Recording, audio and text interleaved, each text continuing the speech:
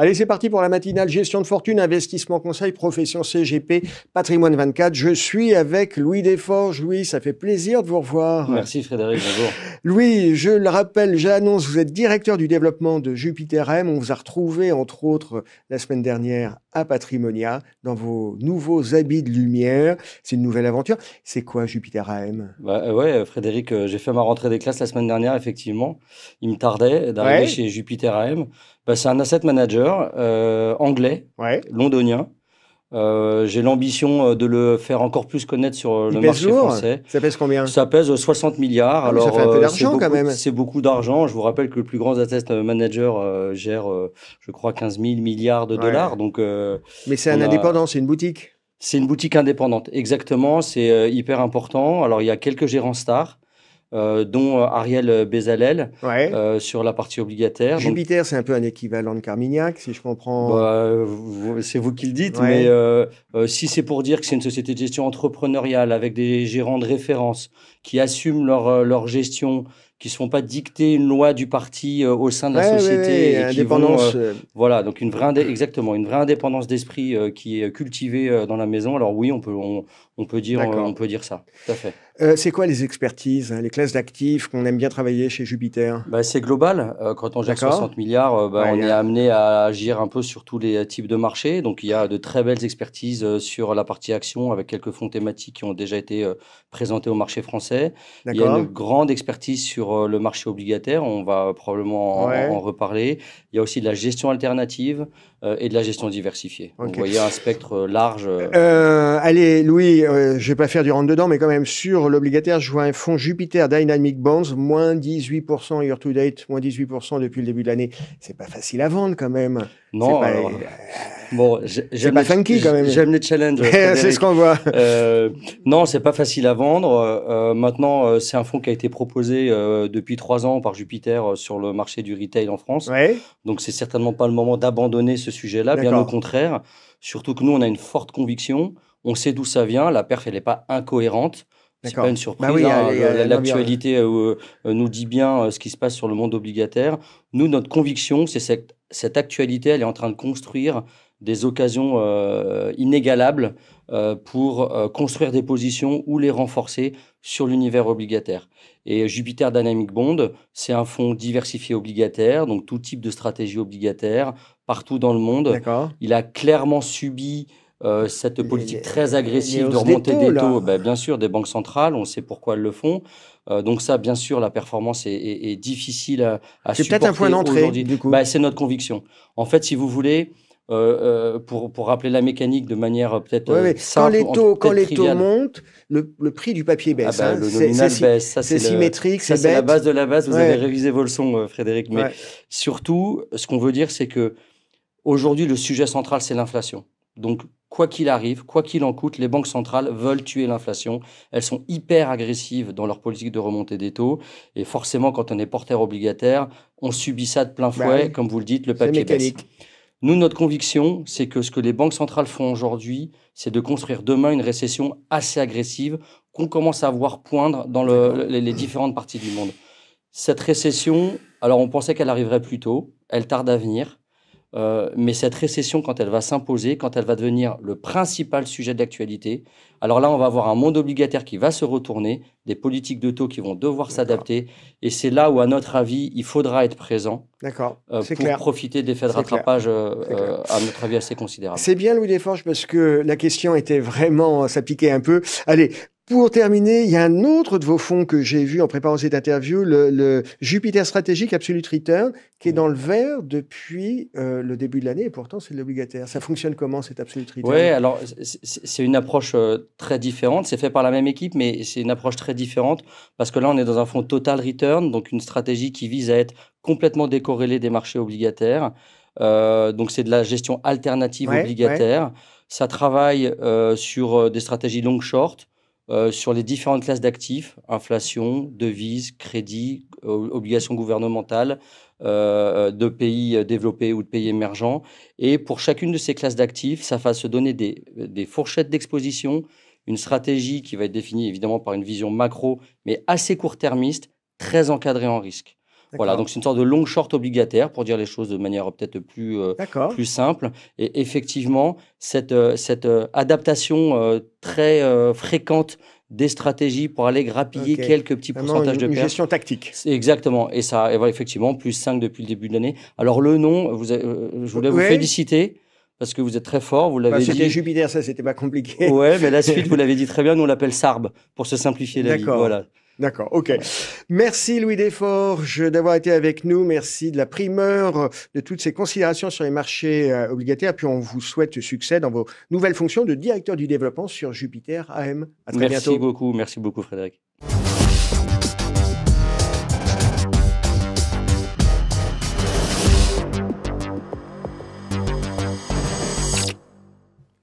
Allez, on continue la matinale. Je suis maintenant avec Étienne Jacot. Étienne, bonjour. Bonjour Frédéric. Étienne, je le rappelle, vous êtes cofondateur de Revenu Pierre. On reviendra sur Revenu Pierre. C'est une plateforme euh, de résidence gérée, marché secondaire. J'aimerais d'abord qu'on fasse un peu un bilan. On est début octobre, c'est bientôt la fin de l'année 2022 sur ce business de la résidence gérée. Ça s'est passé comment? Ah, Le moins qu'on puisse dire, c'est que l'année 2022 a été chahutée. Ouais. On a commencé par une sortie euh, Covid, peut-être pas encore 100% terminée, qui avait fortement secoué les résidences d'affaires, les résidences urbaines d'affaires. Donc globalement, chez nous, on avait presque coupé toute revente sur ce segment depuis euh, mars 2020. on commence à y revenir, donc ça faisait 25% de notre business, donc évidemment ça secoue toujours un peu. Et puis euh, donc les choses s'améliorent hein, sur ce thème-là. C'est plus tout à fait les mêmes résidences qu'avant, mais ça s'améliore. Et puis ensuite on a eu euh, des difficultés sur le segment EHPAD. Vous avez tous entendu parler des scandales Orpea, qui, a, fortement qui a fortement impressionné euh, certes les clients finaux, mais surtout les distributeurs et puis globalement la, France entière. Donc globalement, la revente des EHPAD depuis mars 2022, eh bien, c'est plus tout à fait la même chose. Ça pour nous, ça a été presque bloqué sur un 4 à 5 mois, les choses se débloquent, les choses se débloquent. Euh, donc évidemment, ce que l'on vend aujourd'hui en 2022, c'est plus tout à fait ce qu'on vendait en 2021. On vend quoi aujourd'hui? Euh, On vend beaucoup de résidences seniors, beaucoup de résidences d'étudiants, encore un petit peu d'EHPAD, mais avec des prix qui sont 10 à 12% moins chers qu'en 2019. Les choses commencent à revenir. C'est plutôt voilà, la sélectivité est encore plus forte, mais globalement moins cher qu'avant. Les résidences d'affaires commencent à revenir, mais moins cher qu'avant. Par contre, on a un engouement toujours très fort, parce qu'il y a, de l'épargne disponible et des besoins de complément de retraite, etc., de revenus, sur les résidences, les résidences seniors et les résidences d'étudiants qui sont vus. Donc il y a des segments qui tiennent bien. Voilà, il y a des segments. Donc il y a eu un, chez nous, on a eu pas mal de chance, qu'on a eu des reports d'un segment sur un autre. Euh, mais l'année a été extrêmement chahutée et il a fallu faire preuve d'agilité dans le référencement produit adapté aux nouveaux besoins. Étienne Jacot, est-ce qu'on peut rappeler euh, ce que c'est que Revenu Pierre? Vous êtes une plateforme vous gérez un marché secondaire sur les résidences gérées, non vous, vous, présentez la maison comment en, synthèse, on va dire que c'est un acteur indépendant, 15 ans d'âge, qui est spécialisé donc sur, la, sur le marché secondaire des résidences gérées. Donc la revente, la première revente, des produits qui ont été commercialisés en neuf il y a 5 ans, 10 ans, 15 ans, euh, dans le cadre de produits, de programmes de défiscalisation, très souvent. Euh, donc c'est la première revente. Euh, on a 15 ans d'âge, on a beaucoup d'expérience. Euh, Vous avez un scope géographique particulier On travaille, on travaille France entière. On a un, ADN qui est, très résidence d'étudiants, résidence senior. Ça, c'est notre ADN. Euh, c'est une équipe de 20 personnes, assez expérimentées, pas toutes jeunes, euh, un peu passionnées, qui ont de la bouteille, avec beaucoup de proximité régionale avec les CGP, donc beaucoup de services, beaucoup de services. Globalement, nos équipes commerciales vendent ce qu'elles aiment et ce qu'elles comprennent. Euh, c'est un principe de base. Il hein. faut investir, il faut mettre sa confiance dans ce qu'on comprend. Quand... Oui, ils ont tous, ils sont tous finalement investisseurs à titre personnel. Ils vont tous dans des AG, ils discutent tous avec des exploitants, des directeurs bien, ça fait de une convergence d'intérêts. Finalement, on a une convergence d'intérêts. Bah euh, on parle de la même chose. Euh, voilà. Les, débats sont intenses. combien de lots à l'année, à peu près Cette année, on va finir euh, autour de 750 à 800 lots en revente, ce qui commence à, faire un peu de sens. Globalement, une centaine de millions de réservations cette année. C'est la première fois que ce chiffre sera euh, globalement atteint. Euh, un peu plus de 10 millions de chiffres d'affaires en dernier, 20% de plus cette année. globalement, c'est un marché qui progresse. Et on a la chance de... Et puis sur lequel vous avez réussi à, entre guillemets, vous repositionner, enfin à, sentir le vent, le vent bouger. Étienne, on arrive à la fin de l'année. il y a beaucoup d'incertitudes macroéconomiques. Alors je ne vais pas vous demander de faire Madame Irma et puis de nous dire ce que sera la croissance en 2023, mais votre sentiment général sur l'environnement et puis sur ce marché secondaire, les points de vigilance.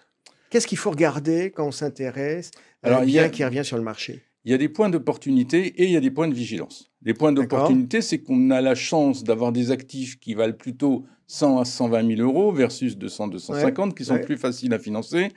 Et oui, qui sont existants avec des loyers qui sont là, qui sont pas, un historique. qui ne sont pas à livrer avec des incertitudes sur les coûts de construction, les délais de, euh, les, délais de livraison, etc. Donc on a cette chance-là euh, dans un contexte où globalement c'est plus compliqué aujourd'hui de financer un, produit, un projet à, 350 000 euros ah euh, qu'un projet à 320.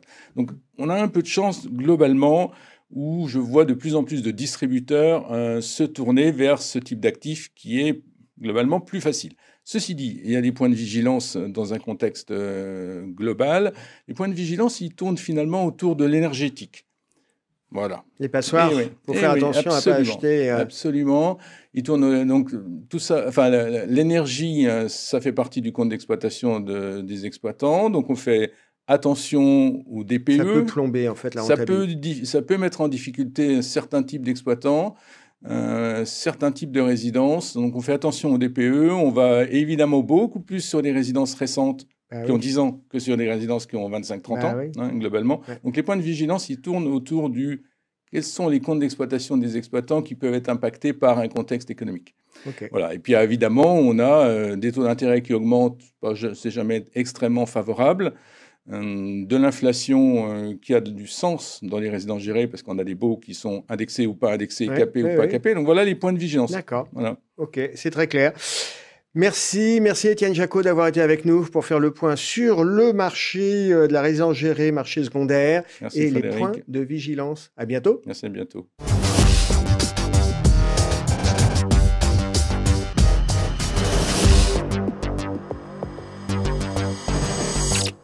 Allez, on continue la matinale. Je suis maintenant avec Michel Escalera. Michel, bonjour. Bonjour Frédéric. Michel, vous êtes directeur général de Palatine AM. Quand on a préparé cette interview, vous me disiez que votre actualité, c'est que vous migrez, vous avez migré toute votre gamme à l'ESG. Alors, je dis félicitations. Et en même temps, je vais dire, bon, bah, comme tout le monde, quoi, tout le monde fait ça, non? Bah, Écoutez, aujourd'hui, de toute façon, tout le monde est obligé de faire ça. C'est un, incontournable.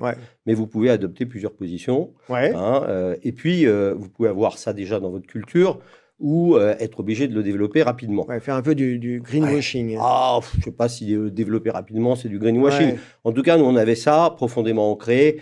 Euh, Asset Management, je ne suis pas pour grand-chose, a créé un des premiers fonds euh, labellisés ISR de la place. Ça s'appelait Or Bleu, c'est un très ah joli nom. C'est devenu Planète. À cette occasion, on a développé une expertise sur, euh, sur l'EG, une, expertise sur l'analyse extra-financière qui restait quand je suis arrivé. Il fallait réorganiser la société, hein, euh, la relancer. C'est pour ça qu'on m'a recruté. Donc, il y a un on a décidé d'en faire un. Oui, c'est pas un truc qui tombe du ciel. Ah non, ça tombe pas du ciel. Et il y a des convictions vraiment très très fortes. Moi-même, hein, pour l'anecdote, j'ai été vice-président fondateur, c'est pas mal, hein, du Spain SIF. C'est le Social Investment Forum, donc c'est l'équivalent du FIR français. Donc vous voyez, j'ai des convictions. Et c'était il y a très, très, très longtemps, quand j'étais en Espagne, que j'étais jeune, que j'avais encore des cheveux. Oui, mais vous êtes toujours dynamique, Michel, c'est pour ça qu'on est ensemble. Dans, dans, le cadre de cette migration SG, il y a deux de vos fonds qui ont subi une évolution, euh, qui sont maintenant article 9 et qui sont des fonds euh, focusés sur l'emploi, enfin focusés qui, qui s'intéresse plus particulièrement aux questions d'emploi. On peut en parler? Oui, bien sûr. Parce que c'est un sujet vraiment qui intéresse tout le monde, l'emploi en ce moment. Alors, ça part de plusieurs constats. Le premier, hein, c'est que le S du social en retard sur l'environnement. Vous avez énormément de fonds environnementaux. Oui, qui nous hein, parlent. Euh, bah, sur le S, euh, on en parle moins. Pourtant, euh, depuis qu'on parle hein, de transition juste, le petit juste de la transition juste, c'est justement d'inclure. Hein, et d'inclure euh, comment? Il faut des métriques là-dessus. Euh, mmh. une des difficultés du social, c'était les métriques. L'emploi offre une batterie de métriques. Qu'est-ce qu'on regarde alors? Alors, on regarde plein de choses. D'abord, on, regarde la création nette d'emplois. Pourquoi? Parce que les sociétés qui créent de l'emploi, Hein. on peut penser qu'elles ont les moyens de le faire, on peut penser qu'elles ont des ambitions, on peut penser qu'elles ont une stratégie, et euh, c'est souvent le cas. Donc, euh, ce sont des entreprises qui, à notre sens, à travers cette plus-value sociale, vont créer de la plus-value financière. Alors, je sais que c'est un petit peu conceptuel, non, non, je donnerai des exemples. Clair. Mais euh, l'idée, l'idée, c'est celle-là. Mais il n'y a pas que la création d'aides d'emploi. Il y a beaucoup de métriques. Par exemple, on surveille l'emploi des jeunes, on surveille l'emploi des personnes en situation de handicap. Et euh, on surveille évidemment la mixité, on surveille l'emploi des seniors. Euh, ce sont des sujets qui sont des sujets aujourd'hui une actualité, euh, oui, c'est extrêmement concret. à partir de là, c'est on continue à faire de l'analyse financière, hein, parce que la première responsabilité, c'est la perf. Hein. Mmh. on est Mais il y a une couche en plus. Voilà, et qui, qui, est finalement une stratégie d'investissement, qui est un élément de stratégie d'investissement. Quand, quand, finalement, avant, on faisait euh, plus abstrait, on faisait sur du judgmental. Est-ce que euh, l'équipe dirigeante est capable de développer la stratégie qu'elle propose, etc. Donc, le, non, c'est euh, c'est très concret. C'est pas juste. Okay. c'est gris social sur l'emploi. Le terrain de chasse, c'est quoi? C'est pan-européen? Alors, c'est la France. D'abord, on a commencé à travailler avec une société qui s'appelle Impact. Hein, qui est dirigé par André Coine, quelqu'un qui est un petit peu connu dans le marché. Il a lancé ING Direct, ensuite Before Bank, hein, puis Orange Bank. Et Hein, en vieillissant, euh, il s'est dit, tiens, euh, là-dessus, j'ai des convictions, euh, il y a des choses à faire, et donc il a créé une, société qui travaille la data, en particulier sur l'emploi. Et on est parti sur la France, on a élargi à l'Europe, hein, et puis on continuera. Ok, c'est clair. Euh, Michel, donc il y a cette migration SG, ça se traduit entre autres par ces deux fonds euh, focusés, article 9 focusé sur l'emploi. On est en train de se terminer une année 2022 qui aura été compliquée, euh, reprise de l'inflation, les taux qui remontent, la guerre en Europe, des tensions géopolitiques un peu partout. Alors je sais que chez Palatinaem on fait pas de macro, mais vous, votre sentiment, ça, le fond de l'air est un peu quand même stressé. On dit quoi quand, quand on gère une boutique comme la vôtre On dit quoi aux clients? Qu'est-ce qu'on dit? euh, Qu'est-ce qu'on vous, euh, c'est euh, un environnement, hein, à revenir dessus, qui est un petit peu bah, compliqué. Un peu anxiogène. un peu anxiogène. On fait au demeurant de l'allocation, hein, notamment parce qu'on fait de la gestion sous mandat, en particulier pour les clients de, la Banque Palatine, mais pas que. Et mmh, évidemment, il faut mmh, prendre des mmh. positions là-dessus. Alors, c'est évident que dans un environnement aussi anxiogène, on est en ce moment un peu défensif sur euh, la partie equities. Néanmoins, euh, on pense que ça replace aussi un petit peu les choses euh, dans, leur ordre originel. C'est l'horizon d'investissement des actions, hein, c'est le moyen long terme. Bah ceux qui sont prêts à nous accompagner là-dessus, il faut donner du sens à leur épargne. Et euh, ça nous ramène au premier point, hein, d'avoir euh, fait remonter hein, comme euh, vraiment une marque de fabrique hein, l'ESG et donner du sens et de la valeur aux investissements de nos clients. Ça, c'est le premier point. Pour ceux qui, évidemment, sont prêts à prendre des positions à moyen long terme, hein, tout en sous-pondérant nous-mêmes la partie action aujourd'hui. En revanche, l'environnement de taux, c'est une opportunité aussi. Si on, si on, réduit la voilure sur les actions, donc quoi On, s'expose sur les taux? Alors, on s'expose un peu plus sur les taux, et évidemment, surtout qu'il y a des opportunités aujourd'hui. Euh, elles sont là. Certains disent qu'elles vont durer, d'autres disent qu'elles vont euh, pas durer. Aujourd'hui, sur euh, du 3 ans, et donc il y a des stratégies buy and hold hein, qui sont en réflexion dans la place, vous en avez entendu parler, je vous livre pas un scoop. Nous, on travaille là-dessus, sur la partie gestion sous mandat. Il y a effectivement les buy and hold, on avait vu fleurir ça en 2009, après la grande crise 2007-2008, et on, assiste au fleurissement de, nouveaux buy and hold. Donc tout ça, c'est des terrains que, que vous allez cultiver. Évidemment, évidemment, on, est là-dessus. Et euh, encore une fois, euh, ces taux hauts, enfin, qui peuvent continuer à monter, hein, certains disent qu'ils peuvent continuer à monter. Bon, c'est pas mal de euh, pouvoir hein, les loquer d'une certaine manière. et sinon, bah, il y a toujours le monétaire sur lequel on a des produits euh, palatine standard, palatine monétaire court terme, euh, qui sont euh, extrêmement bien placés. Hein. Je vous invite à les regarder. On va regarder ça, on va regarder ça. Vous êtes convaincant, Michel. Michel Escalera, merci d'avoir été avec nous. Bah, merci de m'avoir invité. À bientôt. À très bientôt.